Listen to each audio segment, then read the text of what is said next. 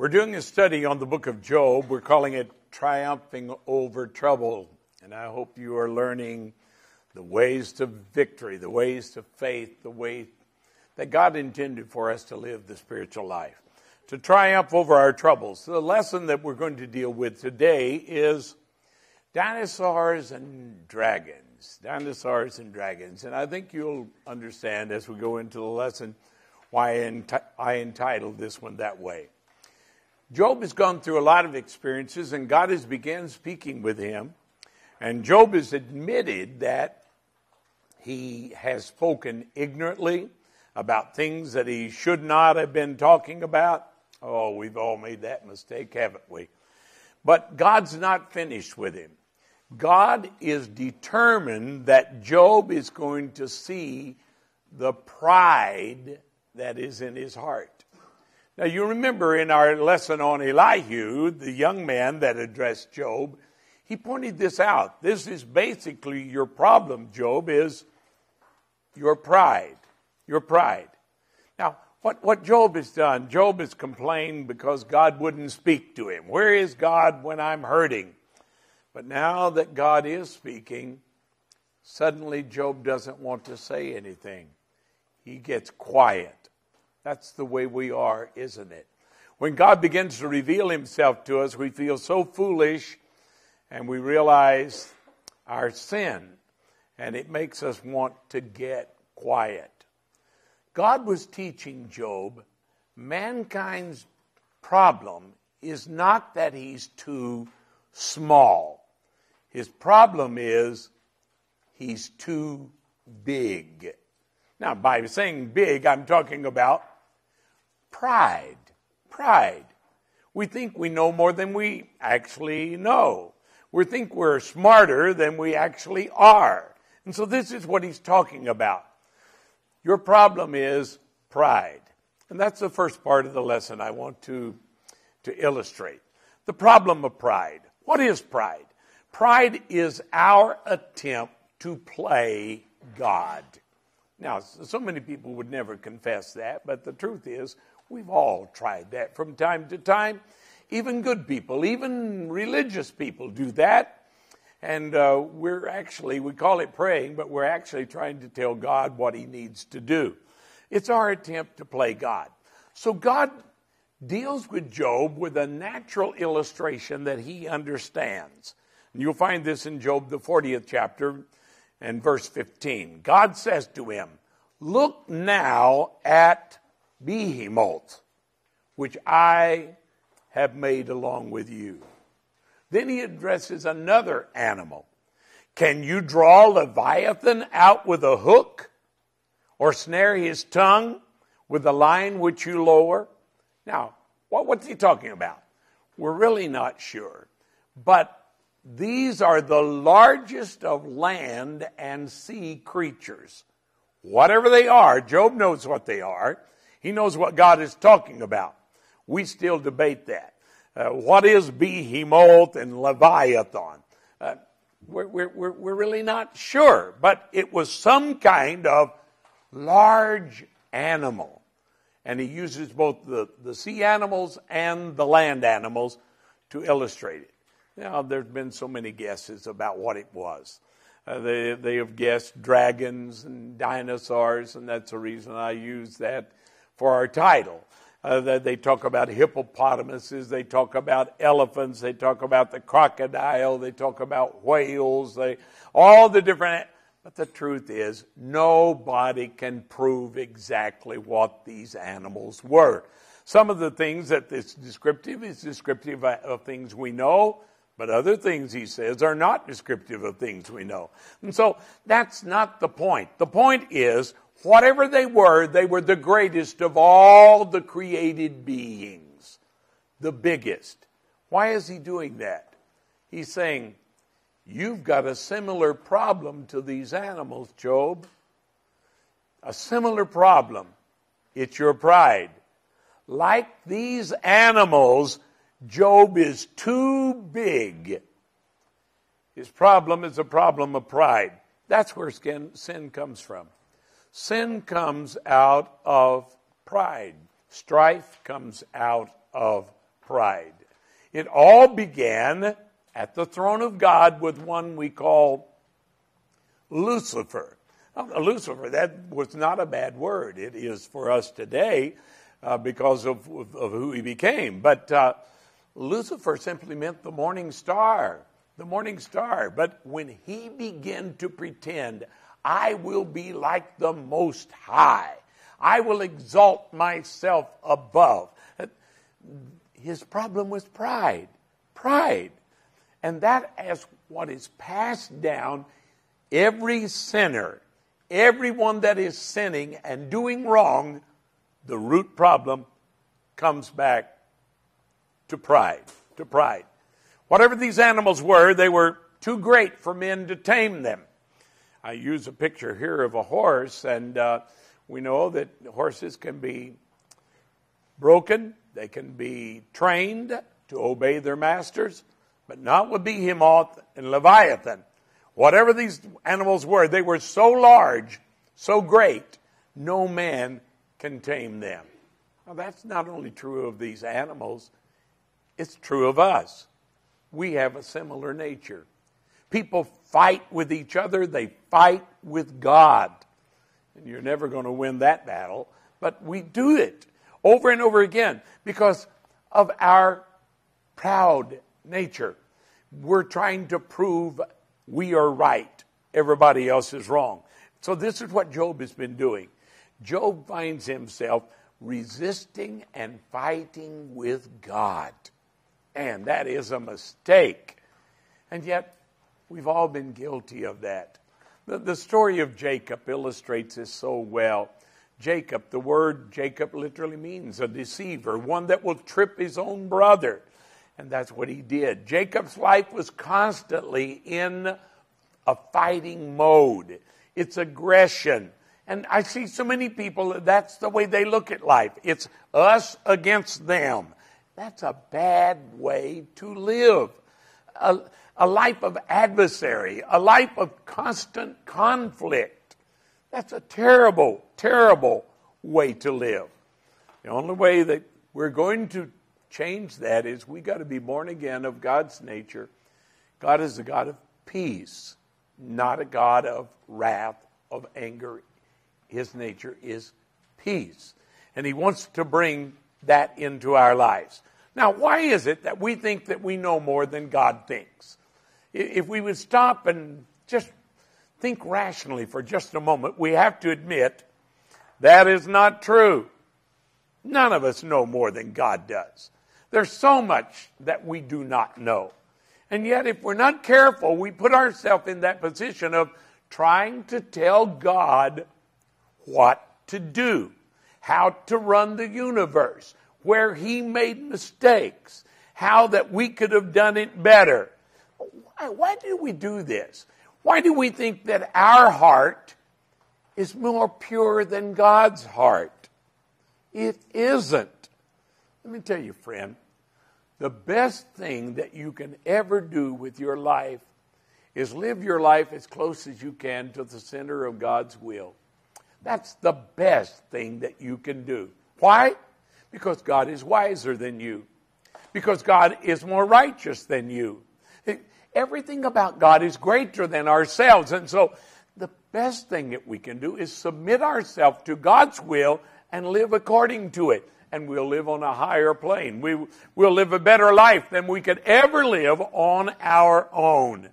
But poor Job. He's been fighting, quarreling with God.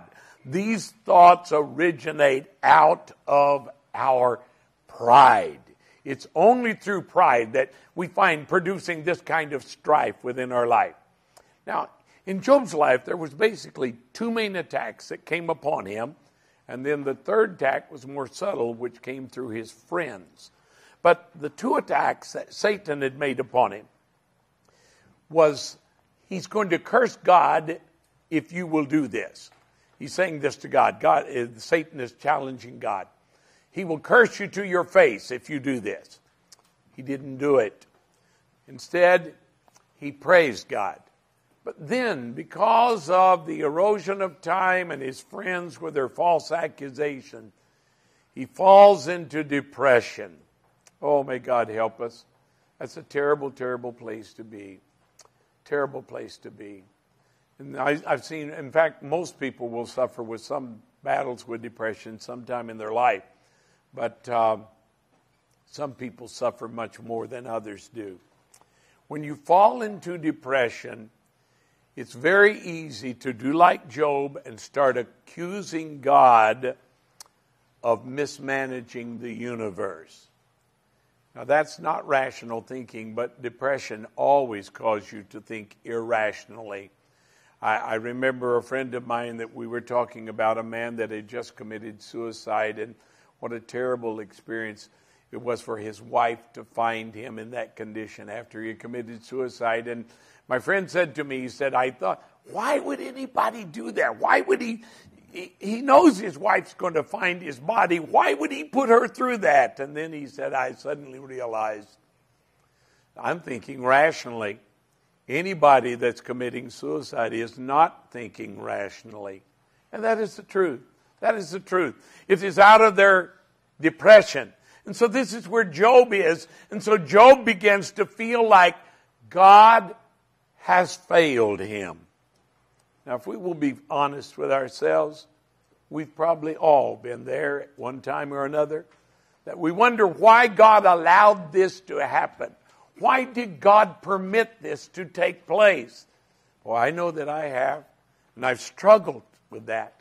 The truth is, pain brings things out of us that pleasure never could. Pain, the, the, the painful experiences in life. As someone has said, we learn more through our defeats than we do our victories if we survive and continue on because we learn what not to do. And that is the basic element of knowledge is knowing what not to do. Job, though, Job in his pain is blaming God. We learn more about ourselves through our failures than we do through our success, through our failure, our, our, than we do through victory. Now, the big question, the greatest question in life is not why do I hurt? Why am I hurting? That's not the big question. The big question is, do I still believe? And that's what God begins to challenge Job.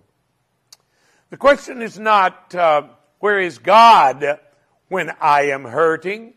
No. What is the big question? The big question is, where am I when I'm hurting. God is changing Job's total perspective on life, and he's having to look at life from God's perspective rather than from his perspective. Stop questioning God. Start asking yourself, do I still believe? Do I still have faith in God? Let me show you this verse of scripture in 1 Peter 1 and 7, where Peter is talking about what he calls the trial of our faith. The trial of our faith. He said that the genuineness of your faith, though it is tested by fire. The genuineness of your faith. In other words, some people think they believe, but when they get in the test, they discover their faith wasn't as great as they thought it was. Some people think they're following God until they get into a problem, a trouble, and then suddenly they turn and go the opposite direction. They discovered things in their life that they didn't even know was there. Now, that, that's always a, a, a, a terrible, terrible experience when you are tested and you find things inside of you. I, I, am thinking now of some experiences in my life that the painful experience brought things out of me that I didn't even know was inside me. That's what's happening with Job. But he said, what God is looking for is the genuineness of your faith. God doesn't want a false faith. He wants a real faith. How are we going to know that it's real? It has to be tested. That's the only way that we're going to know if it is real. The reason why God allows our faith to be tested is so it will continue to grow.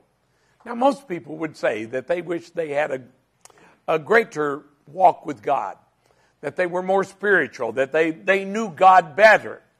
But the truth is, most people are not willing to pay the price to get there. They're not willing to go through what it does. And so I've come to the conclusion that basically we have all of God that we really want of God in our lives. Because if we want more, then we will be willing to follow Him, even through the fire, through the test. In the book of Luke, he talks about Simon Peter. Jesus says these words Jesus said, Simon, Simon, indeed, Satan has asked for you that he may sift you as wheat. Now, pay close attention to the words of Jesus here. Satan has asked, he's desired you, put you in his hands, that he can sift you as wheat.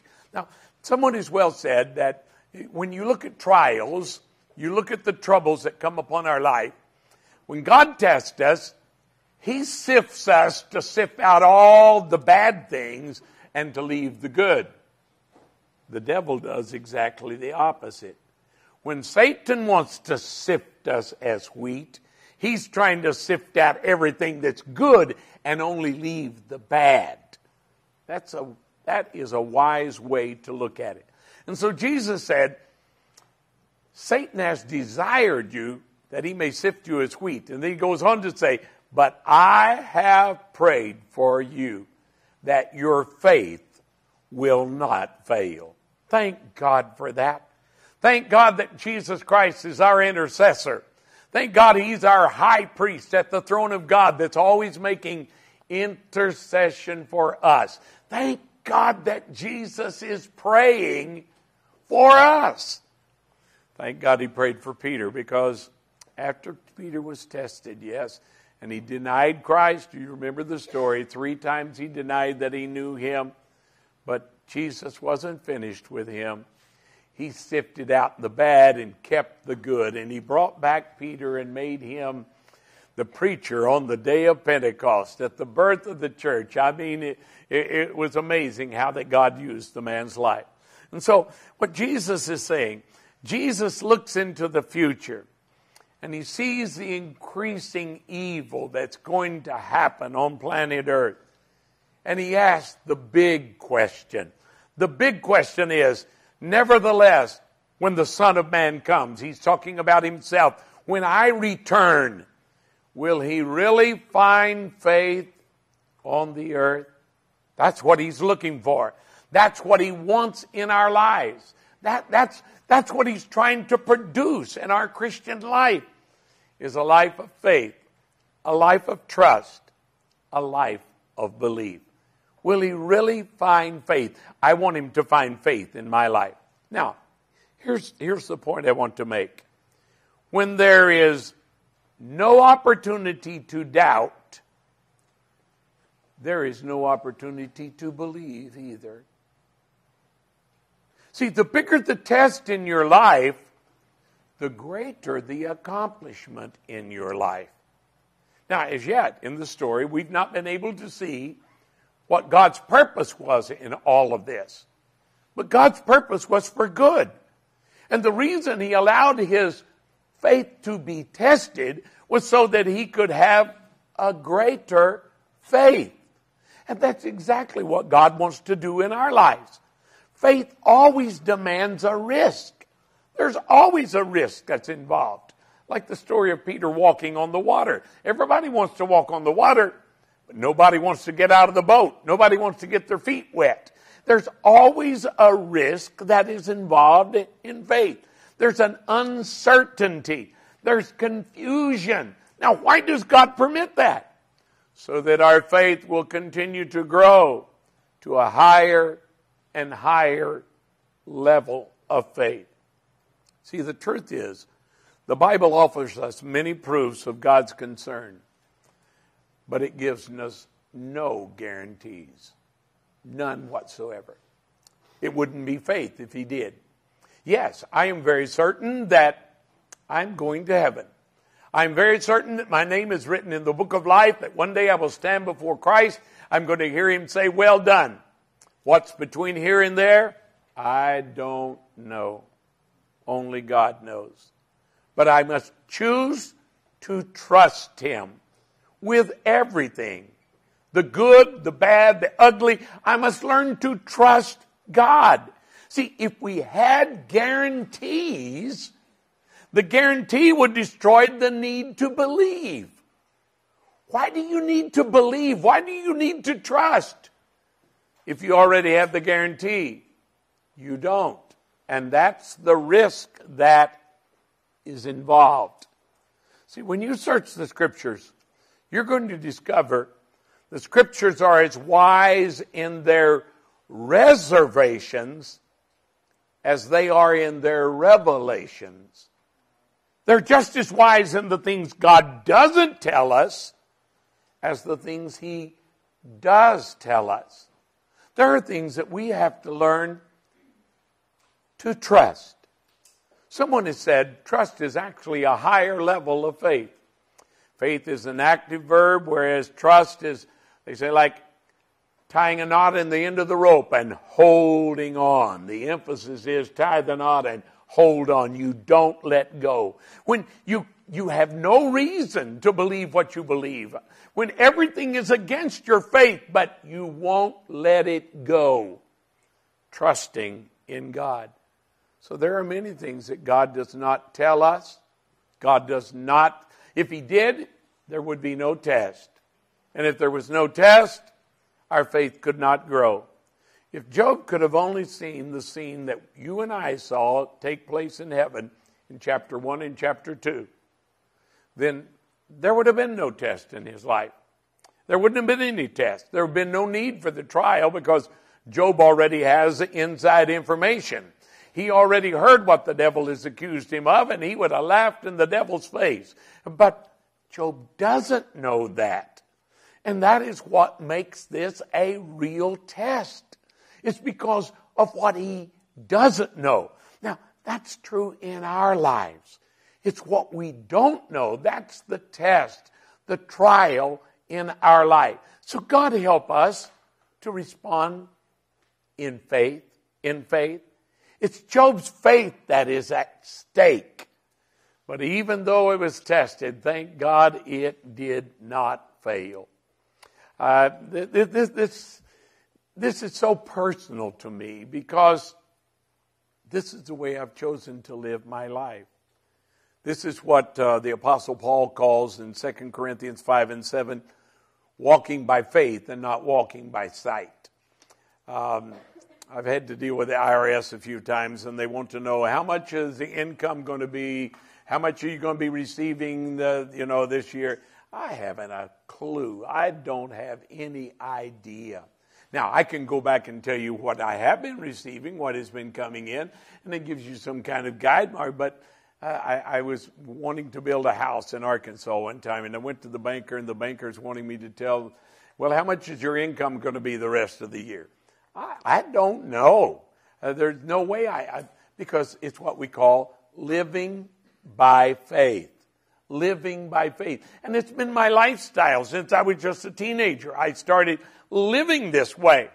If we walk by sight, what we can see, that there's no faith that is involved in that. Now, thank God Job, though his, his faith's tested, but it, it doesn't fail. It remembers, uh, it remains. For instance, in Job 19 verses 25 and 26, you hear him saying, I know that my Redeemer lives and that he shall stand on the last day on the earth. And after my skin is destroyed, this I know, that in my flesh I shall see God. That's faith. That's faith. But there's no way that you can prove that. You have to learn to trust God. Now, the second part of this lesson I want to focus on is what I'm going to call the power of praise. The power of praise. True faith doesn't try to manipulate God into doing what we want. True faith brings us into a place of doing God's will. Or, as I said, the key is learning how to trust God. In trusting God. How, how, how do we do that? Faith becomes the best way to express our love for God. If you want to express your love for God, believe, trust Him, put your confidence in Him. That's the best way to express your love for Him. In Galatians 5 and 6, he says, For in Christ Jesus, neither circumcision nor uncircumcision. He's simply saying, keeping the law of Moses or breaking the law of Moses. That is not what's important. What is important? Faith which works by love. Boy, that, that is making it simple, isn't it? That's putting it in our life. You see, the truth of it is, it seems like we must experience Job like experiences to nurture our intimacy with God. Or another way of saying it is, we need problems just as much as we need solutions. Solutions in our life. We need the problem, the test, because that's what helps us grow. A faith like Job's faith cannot be shaken because it is the result of being shaken. That's why he became so strong and God was able to give him twice as much as he had before. I love the illustration of the little child. The little child, the more we become Christ like, the more we become like little trusting children, trusting God even though intellectually we can't even define the problem, but we trust him anyway. The more like Satan we become like, the more we become like selfish little children. That's, that's a good example of what God wants to do in our life. That's what is called the full circle of maturity. You start out as a child and you end up as a child, but there's a difference. The difference is the trust has come to maturity in God you now, you've gone through a lot of experiences. The child has not. He starts in innocence, but we have learned through experiences. We can still trust him. Matthew, the 18th chapter, and verse 3, Jesus said, Assuredly I say unto you, unless you are converted and become as little children. What does he mean by that? You learn to be trusting like a child. You learn to trust God unless you become as a little child, you will by no means enter into the kingdom of heaven. Job responds to God and he says, Job answered the Lord and said, I know that you can do everything and that no purpose of yours can be withheld from you. You ask, who is this that hides counsel without knowledge? In other words, himself. Therefore I have uttered what I did not understand, things too wonderful for me, which I did not know. Listen, please, and let me speak. You said, I will question you, and you shall answer me. I have heard of you by the hearing of the ear, but now my eye sees you. Therefore I abhor myself and repent in dust and ashes. That's what God was looking for. That's what God was seeking all the time in Job's life was repentance. And his repentance was complete. He has humbled himself before God and admitted, I have spoken foolishly about things I didn't know what I was talking about. And I repent. I'm so sorry for what I have become. Now we know he's free from pride. Why? Because pride makes repentance impossible. You're never going to see a proud man truly repenting. No, because they don't think they need it. Everybody else needs it. Pride is no longer controlling his life.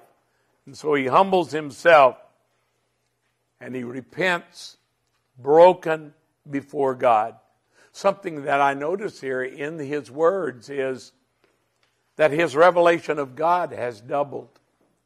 That had to take place before God could double all the substance in his life. the revelation is doubled. He said, I've heard of you by the hearing of the ear, but now my eye sees you. And because of this revelation, I see myself and I repent. See, God help us, God help us to experience this in our lives and understand the trials that we have. They were good for us because they helped us to grow. Praise becomes the expression of our faith to the God that we love. I, I, remember in my life a personal experience that happened many years ago.